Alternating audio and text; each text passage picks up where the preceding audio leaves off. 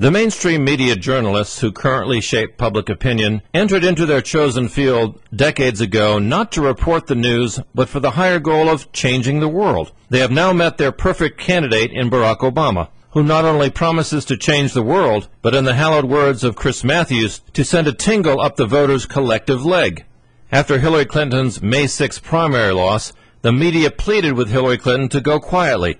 So far, she has not. But what about objectivity, professionalism, and tough questions. These are now abandoned in the cause of making history, which is equivalent to making sure Barack Obama becomes president. No wonder ordinary Americans are making the decision to fire these media guys every day by watching, reading, and listening to them less and less. It's about time someone told them to forget about history and changing the world and just do their jobs. I'm John Pendleton at www.thejpshow.com.